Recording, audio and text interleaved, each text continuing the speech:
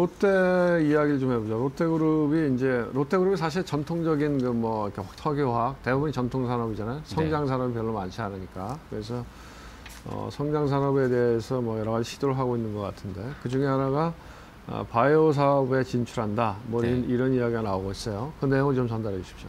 네, 롯데가 이제 바이오 사업에 진출한다 이런 얘기도 많이 들어보셨을 것 같아요. 그래서 그 중에서 어떤 걸 하냐, 그 넓은 바이오 영역 중에서 CDMO를 하겠다고 했어요. 근데 이 CDMO가 이제 국내 주식 투자자분들에게 굉장히 친숙하죠. 사실 이게 CDMO 1위 업체가 삼성바이오로직스라는 업체가 우리가 우리나라에 있기 때문에 어, 굉장히 CDMO가 친숙한데 롯데도 CDMO 하겠다 좀 이렇게 밝혔어요. 그래서 지난달에 이제 미국 BMS가 보유하고 있는 그 시라큐스 공장을 2천억 원 정도에 사들였어요. 그래서 이게 좀 공장이 노후하다고 하니까 한 천억 원 정도를 더 투자를 해서 이 CDMO 기업으로 바꾸겠다, 공장으로 바꾸겠다. 그럼 이 CDMO 뭐냐? 사실 삼바라고 하니까 다 아시겠지만 이 반도체로 본다고 하면 파운드리 사업이라고 보시면 될 것 같습니다. 그래서 이 제약바이오 신약을 위탁하고 개발하고 생산해주는 그런 어.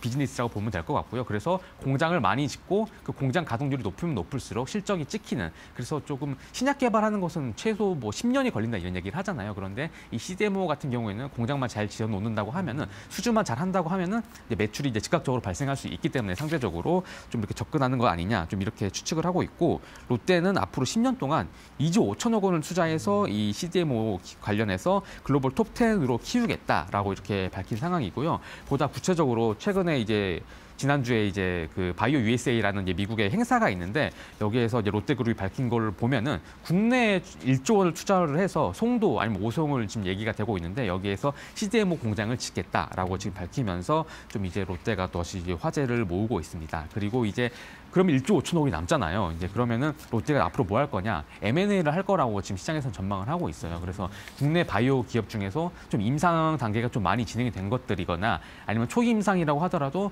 기술력이 입증이 됐다라고 하면 은 롯데가 좀 사들일 가능성이 있기 때문에 아무래도 롯데가 M&A 한다 이런 기업이 만약에 시장에서 소문이 난다고 하면은 그런 것들이 굉장히 또 주가 지금 시장이 안 좋지만 굉장히 또 주가 모멘텀이 있지 않을까 시장에서는 이렇게 전망을 하고 있습니다.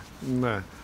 그 결국 이제 롯데가 새롭게 들어오는데 지금 사실 CDMO는 어, 삼성이 처음 뭐 맨 처음에 셀트리온이 했고 그다음 에 네. 삼성이 따라갔고 SK그룹도 지금 하고 있고 기타 뭐 중소 제약회사들도 몇 군데 하고 있는데 어, 롯데가 과연 이제 삼성 바이오로직스하고 비교했을 때 투자 규모나 이런 거 봤을 때 향후에 뭐 이렇게 안착하고 성장할 수 있느냐 이런 게 관건일 것 같은데요. 네. 좀 비교해서 설명을 좀 해주시죠. 네, 삼성이 지금 35만 리터 정도 생산할 능력을 가지고 있는데 사실 30만 리터 이상 생산 보유를 하는 기업이 뭐 스위스 론자나 뭐 독일에 뭐 몇 개 있겠어 전 세계 globally 삼성 바이오로직스를 포함해서 네개 정도밖에 안 돼요. 정말 그 정도가 되는데 그러면 롯데가 이 정도 투자해서 얼마 정도의 생산 능력을 보유하게 되냐 이게 또 투자자분들에게는 관건일 것 같은데 한 20만 리터 정도를 보유하게 된다고 해요. 사실 이 정도만 해도 굉장히 글로벌 수준이긴 하다라고 이제 말씀드릴 수가 있고 삼성 같은 경우에는 지금 사공장을 짓고 있는데 이 사공장을 지으면 한 65만 리터, 60만 리터로 넘어가니까 훨씬 롯데보다는 훨씬 더 격차가 벌어지는 거긴 하지만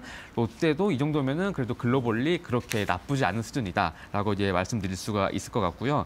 어, 말씀하신 것처럼 이제 바이오 벤처도 CDMO 하겠다고 지금 굉장히 뭐 자- 약간 더 규모는 작은 그런 CDMO 기업들을 인수를 하고 있어요. 뭐 헬릭스미스, 진, 지놈앤컴퍼니, 그 메디포스트, 강스템 바이오텍 이런 것들이 또 CDMO 진출하겠다고 업체를 진출을 하고 있고요. 어, 이제 CDMO 같은 경우에는 사실 우리나라에 그럼 몇 개나 지금 굉장히 많은 기업들이 CDMO 진출하겠다고 하는 거잖아요. 그래서 업계에서는 이게 인력 확보를 하기가 쉽지 않을 것이다. 정말 좋은 인력들은 삼성 바이오로직스나 뭐 이런 SK나 이런 데로 갈 거기 때문에 이런 바이오 벤처가 CDMO 한다고 해서 섣불리 접근하지 말고 실제로 이제 수주를 얼마나 하냐, 유의미하게 하냐, 그래서 매출 얼마 찍히냐 이런 것들 좀 확인해 보고 접근을 해라. 좀 이렇게 권하고 있습니다. 네, 이광수 기자 오늘은 여기까지 하시죠. 네, 말씀 잘 들었습니다. 네, 다음 주에 뵙도록 하겠습니다. 네, 네, 감사합니다. 수고하셨습니다. 네.